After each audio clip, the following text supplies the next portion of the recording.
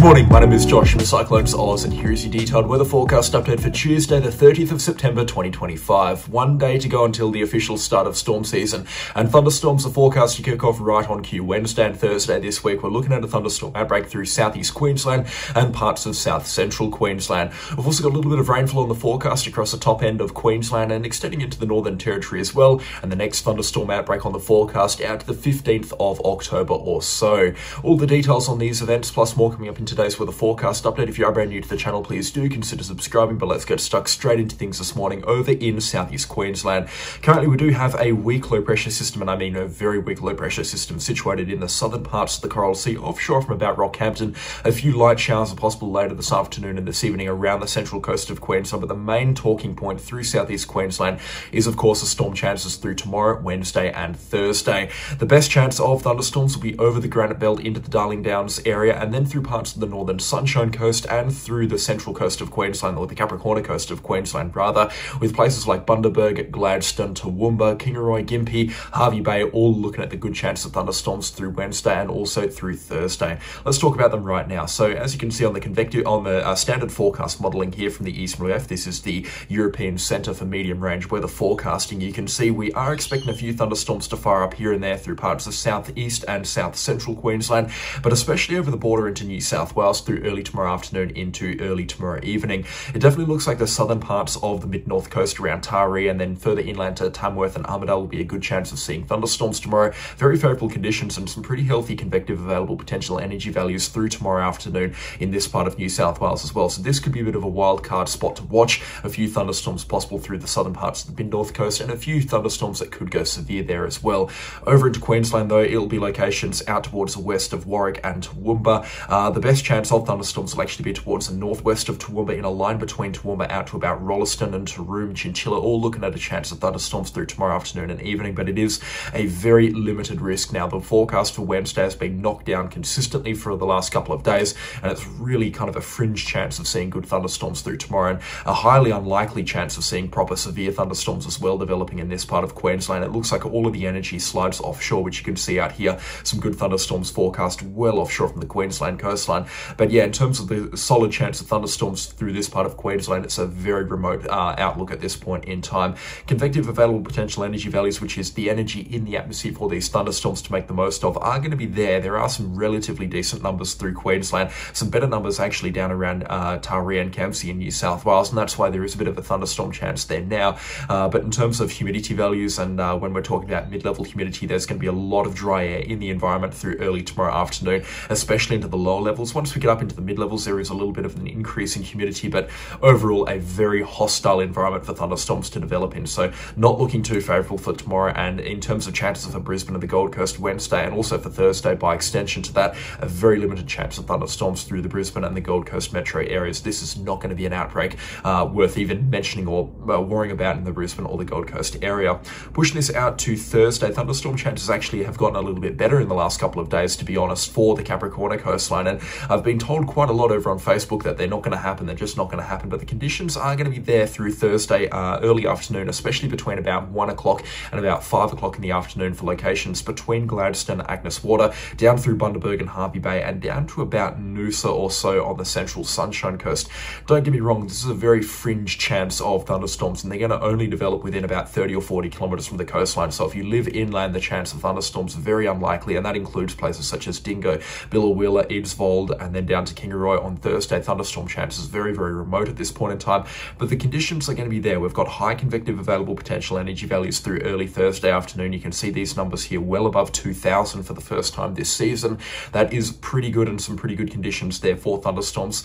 And to be honest, whilst humidity values aren't looking that good uh, further inland, they're looking okay. They're looking decent enough around the coastline to spark up a few thunderstorms, especially into the uh, mid-levels or the lower mid-levels above about 2,000 meters. But once we get around that sort of uh, 4 to 600 or 700 HPA range, uh, where the uh, humidity values become very important, we do have some more decent numbers uh, in the atmosphere here between 50 to 70%, which is enough to get a severe thunderstorm outbreak going. Uh, don't get me wrong, this is going to be a very fringe outbreak as well, if you could even call it an outbreak. And again, thunderstorms will only occur around the coastline, and we could probably count on our fingers on one hand even how many thunderstorms and how many severe thunderstorms are going to develop through Thursday afternoon and evening. But there could be some, the conditions are going to be there for them. Plenty of heat, plenty of humidity, plenty of instability. It's just going to be a matter of if they can actually develop uh, in that very small area along the coastline that's going to have those favorable conditions. That Goldilocks zone, it is a very, very fine line, that's for sure. Uh, one thing that I do would like to say for Wednesday uh, is that we are looking at a bit of an upper level cloud band moving through on Wednesday afternoon uh, or through Wednesday morning into Wednesday afternoon. Have a look at this. So this is a look at high cloud here and we're looking at almost complete coverage through parts of southeastern Queensland. So if you're wondering why that thunderstorm outbreak for Wednesday, which was actually looking very promising a few days ago, has now been completely cancelled from the forecast, it's because we have a lot of high cloud moving through southeast Queensland and that's just going to uh, prohibit uh, instability, uh, not instability, evaporation from the ground through southeast Queensland and really prevent those thunderstorms from getting off the ground, which is why we're not looking at a widespread high chance of severe thunderstorm activity through Wednesday. And basically, the only place that is able to get uh, decent amounts of sunlight onto them through tomorrow uh, morning into tomorrow afternoon, which will kick off the thunderstorm outbreak, is over the border into New South Wales through the south parts of the mid north coast and into the northern regions, the Hunter region. So that's where the thunderstorms will happen tomorrow if they are going to happen, and through Queensland, very remote chance at this point in time. In fact, to be honest, I wouldn't be surprised if we saw nothing through Queensland through tomorrow afternoon and the evening, leaving Thursday the only day of seeing potential uh, uh, or seeing potential for decent severe thunderstorms developing through Queensland's central coast.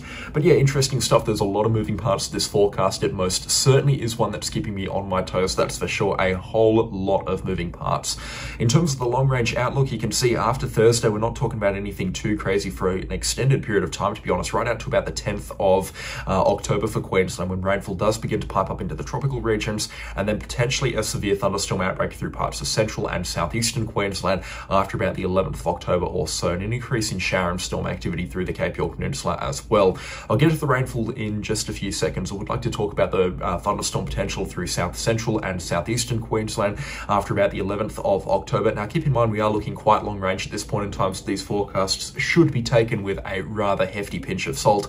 But it looks like through uh, the 12th of October, we get our first chance of proper thunderstorms developing through southern Queensland, and then especially through the 13th of October and the 14th of October, good severe thunderstorms are going to become possible through the Capricorn coastline, and then by extension up maybe into the Burdekin River catchment as well. Southeast Queensland will have a chance of thunderstorm activity, but it doesn't look like there's going to be enough heat uh, in the atmosphere to really develop severe thunderstorms through the Brisbane and the Gold Coast area, but that's just my take on it, and that's very likely to change or evolve at least in some way over the next couple of days. But yeah, definitely going to be a time to watch between the 11th of October out to about the 15th 15th of October. We've been talking about this window for the last two weeks or so as being a window for severe thunderstorm potential through this part of Queensland. And whilst the forecast has definitely been reduced in terms of severity and extensiveness for this severe thunderstorm outbreak, if it does even get off the ground, we're still most certainly talking about a thunderstorm outbreak or a potential for a thunderstorm outbreak around the 12th, 13th, 14th, and 15th of October.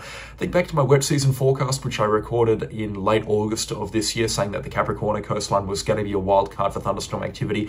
Well, I don't want to toot my own horn, but it certainly is shaping up to be that way, which is fantastic to see. It means that the forecast has been right once again. But for the Capricorn coastline, again, thunderstorm potential is going to be there for the 13th and the 14th of uh, uh, October uh, in a pretty significant fashion as well. And it's pretty much the only place in Queensland that's going to be seeing thunderstorms out to about the 15th of October uh, in terms of storm season. So we're definitely talking about the Capricorn coastline leading the charge with thunderstorm activity. And convective available potential energy normally do really pick up regardless of how things pan out in terms of if there's drivers or not after around the 10th of October for Queensland. So they're not likely to be any concern and already looking pretty healthy. Some of these numbers here that we're beginning to see developing through parts of central Queensland around the 13th and the 14th of October. So definitely getting ourselves geared up for a good thunderstorm outbreak. And whilst we're talking about convective available potential energy values, this is about the ceiling of what we can see around Australia up to about 6,000 joules per kilogram uh, of available energy in the atmosphere for these thunderstorms to make the uh, most of. This happens around the Northern Territory in WA, and it's an ongoing thing, a reoccurring thing uh, from about October right out to about April or May. Plenty of energy in the atmosphere up here. We can see those numbers move into Queensland, especially in the southern or the southeastern parts of the Gulf of Carpentaria. Sometimes those numbers get dragged down in towards central Queensland, uh, but it is exceedingly rare. And normally, when that happens, we do see a pretty gnarly outbreak of thunderstorms on our way. But I just thought that was an interesting feature worth mentioning. Later on into the forecast period, you can see rainfall does return to northern Queensland, not in a very significant capacity, but you can actually see some bigger accumulations through the northern parts of the Cape York Peninsula. The Cassowary Coast and the Daintree Rainforest still, for the most part, remaining dry. And to be honest, we're not expecting good rainfall to develop there until about late October into early November, with December and January of, the, uh, of this year and next year being highlighted as extremely wet periods or extremely wet windows for far northern Queensland. The other major forecast modelling not really picking up on the long range forecast for rainfall at this point in time, and then other forecast models don't really go out that far. But we will be talking about a bit of a surge in moisture through parts of the Coral Sea, not necessarily a low pressure system, but definitely a surge in shower uh, activity and moisture activity through the Coral Sea after about the 8th or the 9th of October, which will likely lead to 20 to 50 millimetres of rainfall falling each day for about a week straight across parts of the Cape York Peninsula. Interesting stuff and interesting times ahead. In terms of other interesting features happening around Australia, probably our last time that we need to properly take a look at winter weather, but we have had a decently strong cold front move through South Australia, Victoria and Tasmania overnight. It hasn't poured too much in the way of rainfall to where uh, the rainfall was actually really needed through South Australia, but widespread falls between 10 to 30 millimetres on mainland Australia and some isolated falls to 60 millimetres through parts of Tassie have been reported overnight. We do have some strong wind gusts here and there as well, especially through Victoria and into the higher elevations of Victoria. Those wind gusts have been quite fresh over overnight. We're also talking about a remote chance of snowfall through this weekend. We can still see snow at this time of the year into, uh, not this weekend, rather through this week. Uh, we can still see snow this time of the year through parts of Victoria and New South Wales. It's not unheard of, that's for sure, but certainly accumulations do begin to get a lot lighter. And this is definitely the heaviest snow for early October that I've seen on the forecast in quite a few years, with the potential for up to 15 centimetres falling through Victoria and New South Wales, with the snowiest days expected to occur on Thursday and Friday as a weak cold front blows through uh, this part of Australia. But yeah, definitely Wednesday night into Thursday and then into early Friday morning will be the chance of snowfall through parts of New South Wales and Victoria.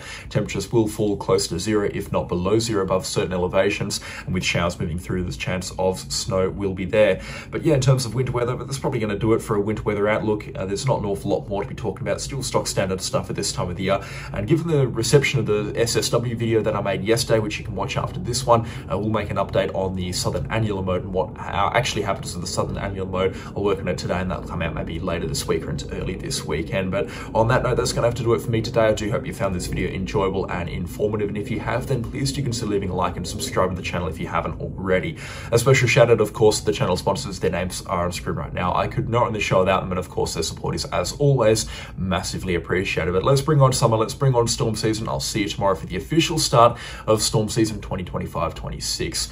I'll catch you on the next storm. Goodbye.